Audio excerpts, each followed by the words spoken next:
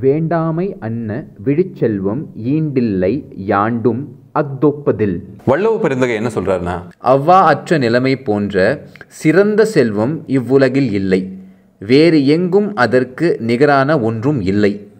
அம்பு தமிழ் நெஞ்சங்களுக்கு வணக்கம். நினைப்பதெல்லாம் நடந்து விட்டால் தெய்வம் ஏதுமில்லை.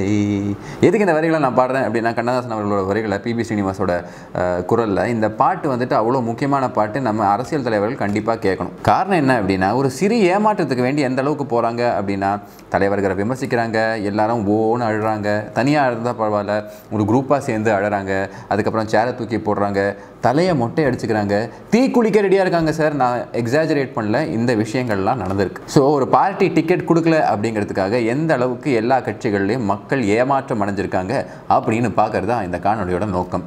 முதல்லையே சொல்லிடுறேன் யாரோட அழுகையோ வேதனையோ பார்த்து கிண்டல் பண்ணுறது எங்களோட நோக்கம் இல்லை. ஆனால் எதுக்காக நம்ம அழறோம்? இதனால் மக்களுக்கு ஏதாவது பிரயோஜனம் இருக்கா அப்படிங்கிற விஷயத்தை யோசிச்சுட்டு அப்புறம் உங்கள் அனுதாபத்தை செலுத்துங்க அப்படிங்கிறது எங்களோட பணிவான வேண்டுகோள். விஷயம் எங்கிறது ஆரம்பிக்குது அப்படின்னு பார்த்தீங்கன்னா அதிமுக. பெருந்துறை எம்எல்ஏ தோப்பு வெங்கடாச்சலம் அவர்கள் அவர் என்ன பண்ண என்ன சொல்றாரு அப்படின்னா இந்த தடவை சீட் அவருக்கு கொடுக்கப்படலை. அவர் அம்மாவையும் எம்ஜிஆரையும் நம்பி தான் பின்பற்றி தான் இந்த கட்சிக்குள்ளே வந்திருக்கேன் அப்படிங்கிறதுனால இந்த கேவலம் என்னோட போகட்டும். இது என்னோட குரங்கோட போட்டோம் அப்படின்னு சொல்லுவார் பார்த்தீங்களா அந்த மாதிரி இது என்னோட போட்டோம் இந்த கேவலம் அப்படின்னு சொல்லிட்டு என்னை கேவலப்படுத்துவது மக்களை கேவலப்படுத்துவது போல அந்த மாதிரி சொல்லி அப்படி திரும்பி பார்க்குறாரு அழ ஆரம்பிச்சிட்டாரு. அவர் அழுதா மட்டும் பரவாயில்லைங்க. சுற்றி இருக்கிறவங்க எல்லாமே அட் அ டைம் அழுகுறாங்க நம்ம யோசிச்சிருப்போம் ஒரு ரூமில் ஒருத்தர் கொட்டாய் விட்டா ரெண்டு மூணு பேர் திருப்பி கொட்டாய் விடுவாங்க. யார்னிங் இஸ் கண்டேஜியஸ்னு சொல்லுவாங்க. இந்த மாதிரி ஒரு துக்கமான சம்பவம் நடந்துச்சு அப்படின்னா எல்லாருக்கும் ஒட்டுக்கா அழுக வரும் அப்படிங்கிற விஷயம் இன்னைக்கு தான் நான் கற்றுக்கிட்டேன் இந்த கேவலம் என்னோடு செல்லவிட்டது நான் என்றைக்கும் அம்மாவுடைய விசுவாசியாக இருப்பேன் என்னை கேவலப்படுத்துவது இந்த மக்களை கேவலப்படுத்துவதை போல.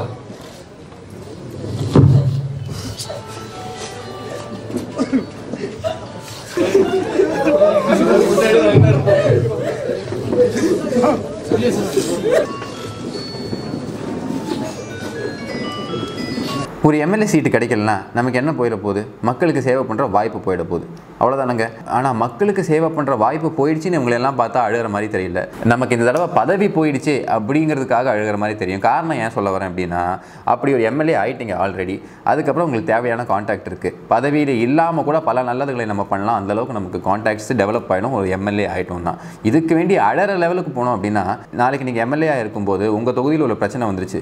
உங்களால் அதை சரி செய்ய முடியலன்னா மக்கள் முன்னாடி போய் நின்று அழகிறது பெட்டரா இல்லை என்னதான் ஆனாலும் பரவாயில்ல அதை ஃபேஸ் பண்ணுவோம் அப்படிங்கிற ஒரு லெக்சரை ப்ரெசென்ட் பண்ணுறது பெட்டரா அப்படிங்கிறது நம்ம கொஞ்சம் சிந்திச்சாகணும் அப்படின்னு நினைக்கிறேன். அப்படியே நம்ம திருச்சிக்கு போகணும் அப்படின்னா அங்கேயும் அதிமுக மெம்பர் தான். மன்னச்சநல்லூர் அப்படிங்கிற ஊர்லேருந்து பரமேஸ்வரி முருகன் அப்படிங்கிற ஒரு லேடி என்ன பண்ணுறாங்கன்னா குடு குடு குடுன்னு ஓடி போயிட்டு நம்மளோட சிஎம்மோட காருக்கு முன்னாடி நிற்கிறாங்க நின்று அவரோட கையை பிடிச்சி ஒரு ஒரு சில வினாடிகள் தான் பேசுகிறாங்க பேசிட்டு போயிடுறாங்க. சிஎம் கையை பிடிச்சி பேசிட்டு அதுக்கப்புறம் அங்கேருந்து அழுதுகிட்டே அப்படியே வராங்க. இதுக்கப்புறம் மீடியாக்கள் நமக்கு தெரியும். போய் கேட்பாங்க என்னாச்சு? அப்படின்னு கேட்கும்போது அவங்க என்ன சொல்கிறாங்க அப்படின்னா நான் வந்துட்டு இந்த எம்எல்ஏ சீட்டுக்கு நான் போட்டிருந்தேன். விருப்ப மனு கொடுத்துருந்தேன். ஆனால் எனக்கு வாய்ப்பு தரப்படலை. அப்படின்னு சொல்லும்போது அவர் சொன்ன விஷயம் என்னென்னா பொறுமையாக இருங்க. ஏதாச்சும் ஒன்று பண்ணுவேன். அப்படிங்கிற மாதிரி சொன்னார். ஆங்கிலத்தில் சொல்லணுன்னா ஐ வில் டூ சம்திங் அப்படிங்கிற மாதிரி சொல்லியிருக்காரு போல். ஸோ இந்த நேரத்தில் அவங்களோட மைண்ட் வாய்ஸ் என்னவாக இருக்கும் அப்படின்னு பார்த்தீங்கன்னா அதான் ஆல்ரெடி டுட்டு டுடு டூ பண்ணிட்டீங்களே இதுக்கப்புறம் என்ன பண்ணுறதுக்கு பாக்கி இருக்குது அப்படின்னு ஃபீல் பண்ணியிருக்க வாய்ப்புகள் உண்டு. பட் என்ன அப்படின்னா எந்த கட்சி ஜெயிக்குதோ உள்ளாட்சி தேர்தலை உடனே நடத்தி அங் அங்கேயும் இந்த ஜெயிச்சிருக்கக்கூடிய அதோட பலனை அங்கே கொண்டு போக பார்க்கும். ஸோ அதில் அவங்க கொடுப்பேன் அப்படிங்கிற மாதிரி பேசியிருக்கிறதா நமக்கு தெரிய வருது. ஸோ அந்த தேர்தலில் ஒரு சீட்டு கொடுக்கறதுக்கு உண்டான வாய்ப்புகள் தான் அவர் மறைமுகமாக சொல்லியிருக்காரோ அப்படின்னு ஒன்று இருக்கும்.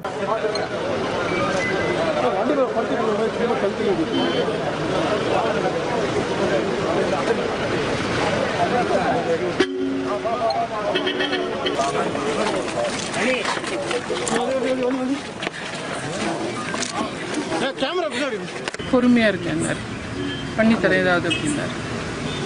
அதே மாதிரி ஏடிஎம்கே நிலோஃபர் கபில் ரொம்பவே முக்கியமான இன்சிடென்ட் இது என்ன ஆகுது அப்படின்னா இவங்க ஒரு மினிஸ்டர் என்ன அப்படின்னா இந்த தொழிலாளிகள் நலத்துறை மினிஸ்டர் லேபர் வெல்ஃபேர் மினிஸ்டராக இருக்காங்க. அவங்க என்னென்னா திருப்பத்தூர் மாவட்டம் வாணியம்பாடியிலேருந்து எம்எல்ஏவாக செலக்ட் ஆயிருக்காங்க. இங்கே ஏற்கனவே நான் ஒரு வீடியோவில் உங்களுக்கு சொல்லியிருந்தேன் இந்த இடத்துல ஒரு பிரச்சனை இருக்குது என்ன அப்படின்னா திரு துரைமுருகன் அவர்களும் அதிமுகவை சேர்ந்த மினிஸ்டர் கே சி வீரமணி அவர்கள் அவர் தான் மாவட்ட செயலாளர் கூட அங்கே. ஸோ அவங்க ரெண்டு பேருக்குள்ள ஒரு ஒரு காப்பரேஷன் இருக்குது ரெண்டு பேருமே ரொம்ப க்ளோஸாக இருக்காங்க அப்படின்னு திமுகவில் அதிருப்தி வந்து அந்த மேட்டர் திரு ஸ்டாலின் அவர்களுக்கு வரைக்கும் போய் அதுக்கப்புறம் அந்த விஷயங்கள் சரி செய்யப்பட்டன. இந்த இடத்துல என்ன இருக்குது அப்படின்னா இதே சைடு அதிமுகலையும் பிரச்சனை வந்திருக்கு. துரைமுருகன் அவர்களோட நட்பு கூடா நட்புன்னு சொல்லுவாங்க பார்த்தீங்களா அந்த நட்பு அதிமுகலையும் இப்போ பிரச்சனையை கொண்டு வந்து விட்டுருக்கு. என்ன அப்படின்னா ஒரு சர்விங் மினிஸ்டருக்கு அந்த இடத்துல சீட்டு கொடுக்கப்படலை. ஸோ அவங்க அவங்க ஆதங்கத்தை அப்படியே கொட்டுறாங்க. கொட்டிட்டு அவங்களும் கண்ணீர் மல்க தான் பேசுகிறாங்க பேசிட்டு சில விஷயங்கள் எல்லாத்தையும் சொல்கிறாரு என்ன அப்படின்னா என்னை பற்றி தப்பு தப்பாக வந்து கே சி வீரமணி அவர்கள் சொல்லியிருக்காரு. மாவட்ட செயலாளரோட செயல்னால் தான் இந்த விஷயங்கள்லாம் நடந்திருக்கு. தலைமை மேலே பயங்கரமான மரியாதை வச்சுருக்கேன். அவங்க நல்லதாக செய்வாங்கன்னு தெரியும். அம்மா மேலே ஒரு ஈழ்ப்பு இருந்து தான் நான் இந்த கட்சியில் வந்து சேர்ந்தேன்.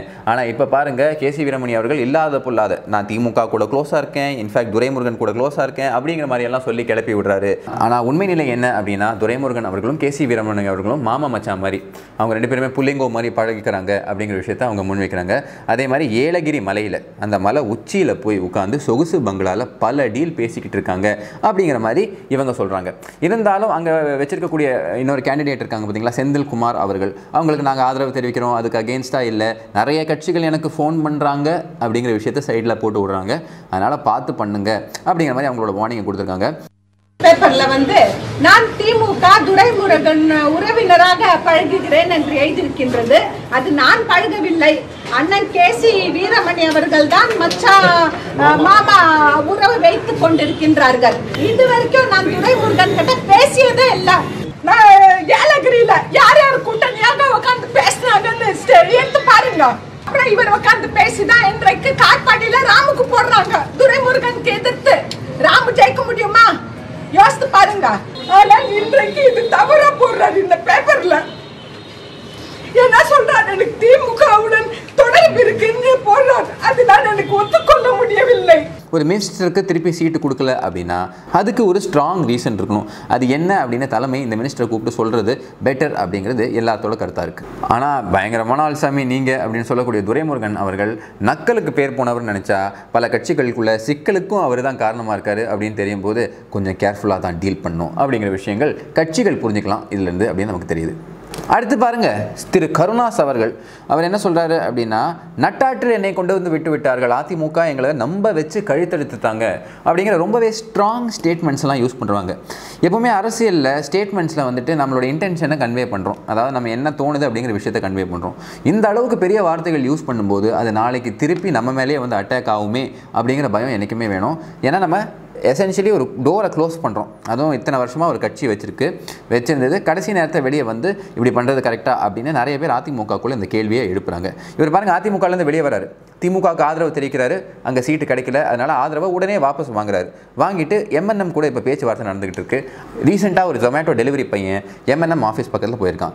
அவனுக்கு ஒரு பத்து கொடுத்து விட்டுருக்காங்க அப்படிங்கிற சூடான தகவலும் நமக்கு வருது. ஸோ அந்த சைடில் கருணாஸ் அவர்களுக்கு ஏதாவது ஆதரவு கிடைக்கும். காரணம் என்னன்னா எதிர்பார்க்காத அளவுக்கு கட்சிகளுக்கு வர வரக்கூடிய கட்சிகளுக்கு சீட்டை அள்ளி வழங்குறதுல கமல் இப்போ ரொம்பவே ஃபேமஸ் ஆகிக்கிட்டு இருக்காரு. திரு கருணாஸ் அவர்களை சேர்க்காததுக்கு காரணம் என்ன அப்படின்னா இவர் வெளியே வந்த உடனே கூவத்தூரில் என்ன நடந்துச்சு அப்படிங்கிற விஷயத்தெல்லாம் நான் சொல்லுவேன் அப்படிங்கிற மாதிரி சொல்லியிருந்தார். அதே மாதிரி அன்புமணி ராமதாஸ் இபிஎஸ் அவர்களை ஒரு காலத்தில் தரைக்குறைவாக பேசின விஷயங்கள் எல்லாம் நினைவூட்டி மக்கள் முன்னாடி கொண்டு போய் வைக்கிறாரு. என்ன சொல்கிறாரு அப்படின்னா இபிஎஸ் அவர்கள் புரோக்கர் வேலை பார்த்துட்டு இருந்தாரு. திரு மேடம் ஜெயலலிதா அவர்களுக்கு இந்த காசு கொண்டு போய் கொடுக்குற புரோக்கர் வேலை பார்த்துட்டு இருந்தாரு அப்படின்னு திரு ராமதாஸ் அவர்கள் ஒரு ஸ்டேட்மெண்ட் சொன்னாராம். அந்த விஷயங்கள் இப்போ நினைவூட்டிட்டு இருக்காரு இது எல்லாத்தையும் தாண்டி எந்த அளவுக்கு போயிருக்காரு அப்படின்னா ஒரு கட்சியை விட்டு வெளியே வந்தால் என்ன பண்ணணும் நம்ம வேற எங்கேயாவது போட்டிட்டு ஜெயிக்கணும் இல்லை நம்மளோட ஸ்ட்ரென்த்தை காட்ட முயற்சி பண்ணோம். ஆனால் இவர் என்ன பண்ணுறாருன்னா கிராம கிராமமாக போய் அதிமுகவுக்கு ஓட்டு போடாதீங்க அதிமுகவை நிராகரிப்போம் அப்படிங்கிற மாதிரி சொல்கிறாரு இதுதான் வந்துட்டு நிறைய பேரை கடுப்பாக்கியிருக்கு.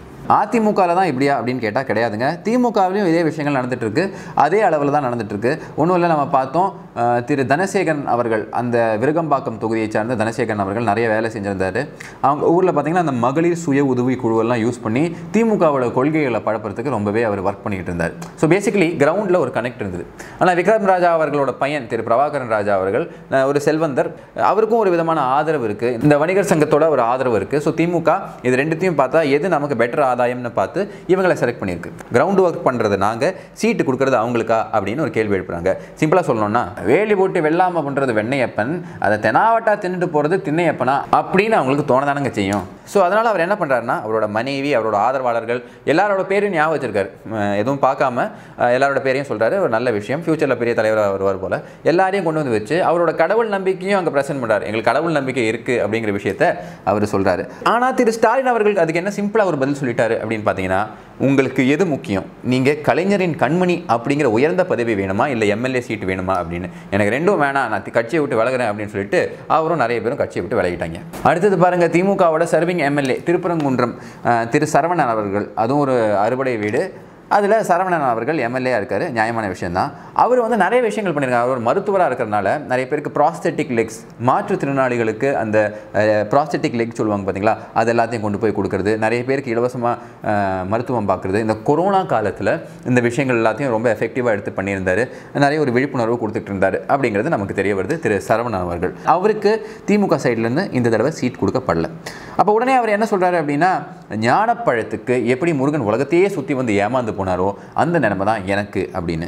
அதனால் கட்சியிலேருந்து அவர் வெளியே வந்து திமுகலேருந்து வெளியே வந்து டக்குன்னு பிஜேபியில் ஜாயின் பண்ணுறாரு பிஜேபியில் ஜாயின் பண்ண உடனே அவருக்கு ஒரு எம்எல்ஏ சீட்டு கிடைக்குது. எங்கே அப்படின்னா மதுரை நார்த் கொடுக்குறாங்க. திருப்பரங்குன்றம் கொடுக்கல மதுரை நார்த் கொடுக்குறாங்க. இது என்ன பண்ணுது அப்படின்னா பிஜேபிக்குள்ளே சில ஒரு சலசலப்பை கொண்டு வருது. ஆனால் இவர் நல்ல வேலைகள்லாம் செஞ்சுருக்காரு. இவர் வந்துட்டு சரவணன் பேர் வச்சிருக்காரு முருகனை பற்றி பேசுகிறாரு ஆன்மீகத்தோட ஒரு நம்பிக்கை இருக்குது மற்றபடி எந்த ஒரு திராவிடியன் ஐடியாலஜியும் அவர்கிட்ட இல்லை அப்படிங்கிறனால பெருசாக இந்த சண்டை பெருசாக ஆகாத மாதிரி நமக்கு தெரியுது. திரு சரவணன் அவர்களோட வேண்டுகோள் துரைமுருகனுக்கு கேட்டதோ இல்லையோ எம்பெருமான் முருகன் ஞான பண்டிதனுக்கு கேட்டு அவர் வாயிலா எல்முருகனை கூப்பிட்டு அவருக்கு ஒரு சீட்டு கொடுப்பா அப்படின்னு கொடுத்து அமைச்சிருக்காரு அங்கேருந்து அப்படியே புதுக்கோட்டை அறந்தாங்கி பகுதிக்கு போவோம். அங்கே இருக்கக்கூடிய திமுக காரங்களும் ரொம்பவே கொந்தளிச்சுட்டாங்க. காரணம் என்னன்னா இந்த சீட்டு போன தடவை காங்கிரஸுக்கு சீட்டு கொடுத்து தோத்துட்டாங்க இது வந்து டிஎம்கேயோட ஸ்ட்ராங் ஹோல்டு நம்ம வந்து காங்கிரஸுக்கு விட்டு கொடுக்க கூடாது இந்த தொகுதியில் எப்பவுமே காங்கிரஸை நிறுத்தி அதிமுக ஈஸியாக ஜெயிச்சுட்டு போயிடுறாங்க. அதனால் இந்த தடவை திமுகவுக்கு கொடுக்கணும் அப்படிங்கிற மாதிரி ரொம்பவே ப்ரெஷர் போட்டிருக்காங்க திமுக காரங்க இங்கே தான் எந்த அளவுக்கு போயிருக்காங்க அப்படின்னா தீ குளிக்கிற அளவுக்கு போயிட்டாங்க. மேலே பெட்ரோல்லாம் ஊற்றிட்டாங்க எங்கள் பெட்ரோல் விற்கிற விலைக்கு அதெல்லாம் மேலே ஊற்றி விளையாடக்கூடிய ஒரு விஷயமா? அதுவும் சீட்டு கிடைக்கல அப்படிங்கிறதுக்கு. இங்கெல்லாம் அடுத்த விஷயத்தை பார்த்துக்க வேண்டியதாக அரசியல்வாதிகளுக்கு இல்லாத பிஸ்னஸா அப்படின்னு நிறைய பேர் கேள்வி கேட்டாலும் அவர் அவரோட ஆதங்கத்தை கொட்டிட்டு போயிட்டார். ஸோ அதிமுக திமுகவில் தான் இந்த பேச்சுவார்த்தைகள் அப்படின்னு பார்த்தீங்கன்னா சுப்பிரமணியன் சுவாமி அவர்கள் நமக்கு எல்லாருக்குமே தெரியும். நாம ஒரு சைடு ரோடு போட்டால் அவர் ஒரு சைடு வண்டி ஓட்டிக்கிட்டு போவார். அவர் என்ன பண்ணுறாங்க அப்படின்னா எல்லா பிரஸ் ஆட்களும் போய் இந்த கேள்வி கேட்குறாங்க தமிழ்நாட்டில் பிஜேபியை பற்றி நீங்கள் என்ன நினைக்கிறீங்க அப்படின்னு. இந்த மாதிரி காக்கா பிடிச்சி பிச்சை வாங்கி இந்த மாதிரியெல்லாம் ஜெயிக்கணும்னு ஒரு தேவையே கிடையாது. இது நமக்கு ஒரு தேசிய கட்சிக்கு இது ஒரு அழகா. நம்ம இரநூத்தி முப்பத்தி நாலு தொகுதியிலையும் தனியாக நின்று போட்டி போட்டு ஜெயிக்கணும். அதை விட்டு இருபது சீட்டு வாங்குறது எப்படி இருக்குது அப்படின்னா எப்படி இருக்குன்னு நான் சொல்கிறேன் ஃபஸ்ட்டு சிக்ஸ்டி கேட்டாங்க. ஓகே ஃபார்ட்டி டூ மச் டுவெண்ட்டியா? மேல இடத்துல எல்லாம் பேசணும் அப்படின்னு சொல்லி தான் வாங்கியிருக்காங்க. ஸோ இந்த இருபது சீட்டு கொடுக்கப்பட்டிருக்கு. அதிமுகவுக்கும் வேறு வழி இல்லை. பாஜகவும் சரி இந்த தடவை ப்ரிப்பேர்டாக இல்லை. கொஞ்சம் கூட்டணியிலே போவோம். அதுக்குள்ளே அடுத்த அஞ்சு வருஷத்துக்கு நம்ம ரெடி ஆயிடலாம் அப்படிங்கிற ஒரு மனப்பான்மையில் போகிறாரு பட் சுப்பிரமணியன் சுவாமி இதை கட்டன் ரைட்டாக என்ன சொல்கிறாருன்னா இது வந்து ரொம்பவே வருத்தப்படக்கூடிய விஷயம். நான் இதை பெருசாக ஃபாலோ பண்ணல. ரெண்டு சீட்டு மூணு சீட்டு ஜெயிப்பாங்க. என்ன பிரயோஜனம் அப்படிங்கிற மாதிரி அவர் சொல்லிட்டாரு. அது மட்டும் இல்லாமல் நம்மளோட ஆட்கள் திடீர்னு ஏதாவது கேள்வி கேட்பாங்கல்ல. ஸோ என்ன கேட்டிருக்காங்கன்னா கமலை பற்றி என்ன நினைக்கிறீங்க அப்படின்னு கேட்டிருக்காரு. அதுக்கு அவர் என்ன சொல்றா யார் கமல் அப்படிங்கிற மாதிரி கேட்டிருக்காரு. இதை மட்டும் ஆண்டவர் கேட்டாருன்னா என்ன ஃபீலிங் பண்ணுவார்? இப்போல்லாம் ஊர் ஃபுல்லாக சுற்றிக்கிட்டு இருக்காரு. அது மட்டும் இல்லாமல் கையில் டார்ச் லைட்டை வேறு அடித்து காட்டுறாரு. இதுக்கு மேலே சுப்பிரமணியன் சுவாமி அவர்களுக்கு தெரியலனா நம்ம என்ன பண்ண முடியும்?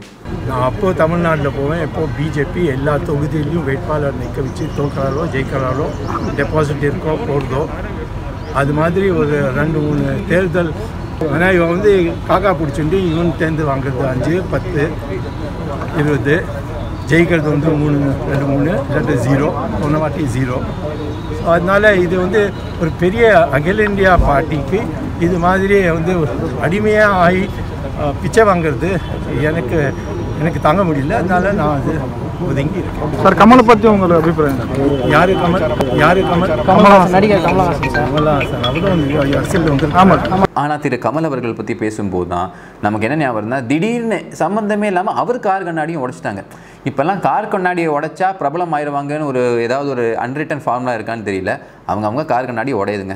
கடைசியாக காங்கிரஸில் என்ன நடக்குதுன்னு பார்ப்போம்.